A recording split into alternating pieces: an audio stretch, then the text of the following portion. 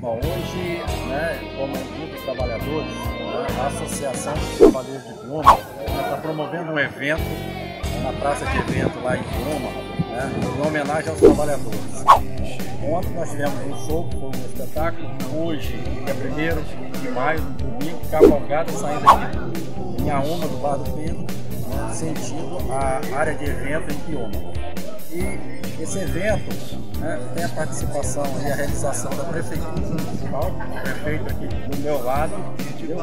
e um apoio muito grande que está dando para a associação. E, graças a Deus, né, nós abraçando essa causa e estamos promovendo esse evento aí para fazer essas famílias, né, que têm seus, suas crianças, seus jovens, né, participarem, para que no futuro né, eles dêem seguimento a esse evento que não acabe essa cultura.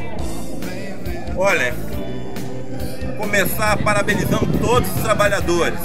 É, reforçar o trabalho, o trabalhador é compromisso da nossa administração. Vigésima cavalgada do trabalhador, pela primeira vez a prefeitura no calendário oficial do município de Piúma, a nossa administração, o município de Piúma colaborando, participando com, na realização com o apoio da associação num evento espetacular. Você que está nos acompanhando daqui a pouco lá na Praça de Eventos de Piúma, onde nós é, fizemos lá um, preparo para o evento. Estou te aguardando lá para essa festa maravilhosa. Hoje mais tarde temos evento musical prateado e outras atrações mas a principal dela, a principal atração é essa cavalgada linda e esse pessoal do bem reunido, gente do bem reunida em prol da nossa cidade.